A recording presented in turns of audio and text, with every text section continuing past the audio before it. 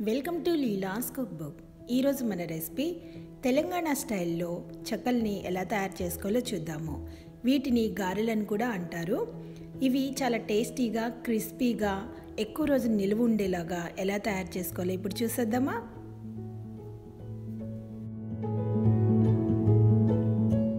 బియ్యపు చెక్కల తయారీ కోసం ముందుగా పావు కప్ పెసరపప్పు అలానే పావు కప్ శనగపప్పును కూడా నానబెట్టుకోవాలి. కనీసం ఒక అరగంట సేపున వీటిని నానబెట్టుకోవాలి. ఇప్పుడు ఒక బౌల్ తీసుకొని అందులో వన్ కిలో పొడి బియ్యపిండిని యాడ్ చేసుకోవాలి. ఇక్కడ నేను చూపించే కొలతలని వన్ కిలో బియ్యపిండికి సంబంధించినవి. ఇప్పుడు ఇందులో రుచికి సరిపడినంత సాల్ట్ని యాడ్ చేసుకోవాలి. అలానే వన్ స్పూన్ రెడ్ చిల్లీ పౌడర్ని కూడా యాడ్ చేసుకోవాలి. అలానే ఒక ఆరేడు గ్రీన్ చిల్లీస్ అలానే ఒక చిన్న అల్లం ముక్కని కచపచగా గ్రైండ్ చేసుకొని యాడ్ చేసుకోవాలి. అలానే వన్ స్పూన్ జీలకర్రను కూడా యాడ్ చేసుకోవాలి. అరకప్పు వేరుశనగ పప్పుని లో ఫ్లేమ్లో టూ మినిట్స్ రోస్ట్ చేసుకొని దాని మీద ఉండే పొట్టంతా తీసేసి వాటిని బద్దల్లాగా చేసుకొని యాడ్ చేసుకోవాలి. వీటిని ఎక్కువగా వేయించకూడదు. ఓన్లీ పొట్టు తీసేయటం కోసం మాత్రమే మనం రోస్ట్ చేసుకోవాలి. వేరుశనగ పప్పును ఎక్కువసేపు ఫ్రై చేశారంటే మనం ఈ చెక్కల్ని డీప్ ఫ్రై చేసేటప్పుడు అవి తొందరగా మాడిపోతాయి. అలానే ఒక త్రీ టు ఫోర్ స్పూన్స్ వరకు నువ్వులను యాడ్ చేసుకోవాలి. టూ స్పూన్స్ ధనియాలను కూడా కచాపచాగా దంచుకొని లేదా గ్రైండ్ చేసుకొని యాడ్ చేసుకోవాలి. ఇవి యాడ్ చేయటం వల్ల మనకి చెక్కలు అనేవి చాలా టేస్టీగా ఉంటాయి. ఇంతకుముందు మనం నానబెట్టుకున్న శనగపప్పు అలానే పెసరపప్పును కూడా యాడ్ చేసుకోవాలి.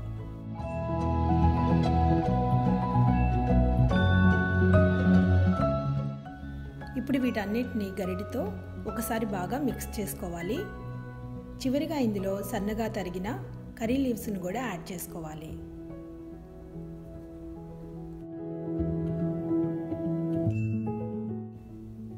త్రీ టు ఫోర్ స్పూన్స్ వరకు బటర్ లేదా నెయ్యిని యాడ్ చేసుకొని ఈ పిండిలో బాగా కలిసేలాగా మిక్స్ చేసుకోవాలి. మీకు నచ్చితే ఇందులో ఫ్రెష్ మేతి లీవ్స్ అలానే మింట్ లీవ్స్ని కూడా సన్నగా కట్ చేసి యాడ్ చేసుకోవచ్చు. ఇప్పుడు ఇందులో కొంచెం కొంచెంగా వాటర్ని యాడ్ చేసుకుంటూ సాఫ్ట్ డోలాగా తయారు చేసుకోవాలి. వాటర్ ఒకేసారి ఎక్కువగా యాడ్ చేయకుండా కొద్ది కొద్దిగా యాడ్ చేసుకుంటూ డోను కలుపుకున్నామంటే మనకి ఇది సాఫ్ట్గా అండ్ పర్ఫెక్ట్గా వస్తుంది.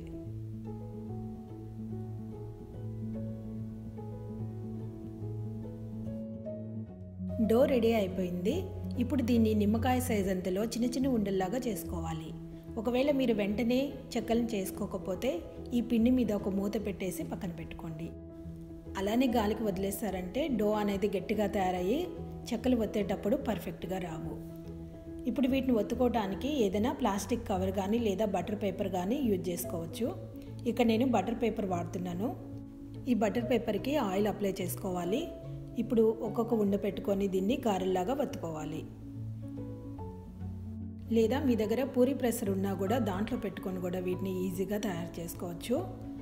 లేదంటే ఈ బటర్ పేపర్ మీదే ఒకేసారి నాలుగు ఐదు ఉండలను పెట్టుకొని దాని మీద ఇంకొక బటర్ పేపర్ని పెట్టుకోవాలి. ఏదన్నా బౌల్ లేదా ప్లేట్ తోటి వాటిని ప్రెస్ చేసుకోవాలి. ఫ్లాట్గా ఉండే బౌల్ కానీ ప్లేట్ని కానీ తీసుకొని ఇలా ప్రెస్ చేశారంటే మనకి ఒకసారికి నాలుగైదు గారెలు తయారవుతాయి.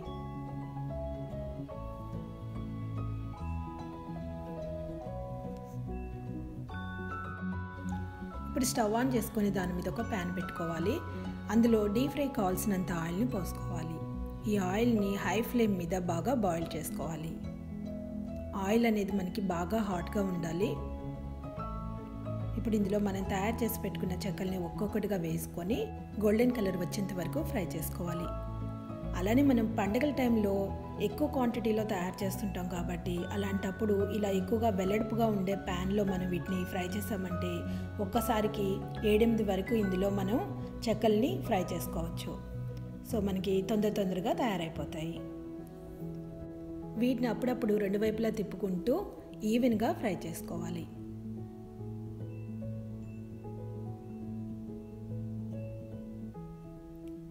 చూసారు కదా ఇలా మంచి కలర్ వచ్చిన తర్వాత వీటిని మనం బౌల్లోకి ట్రాన్స్ఫర్ చేసుకోవాలి.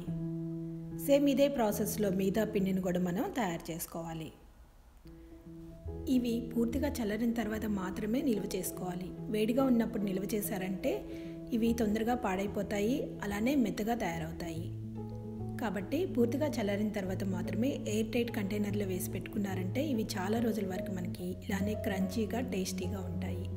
ఈ వీడియో మీకు నచ్చినట్టయితే లైక్ చేయండి మీ ఫ్రెండ్స్కి షేర్ చేయండి. మరిన్ని వీడియోస్ కోసం నా ఛానల్ని సబ్స్క్రైబ్ చేసుకోండి. Thanks for watching.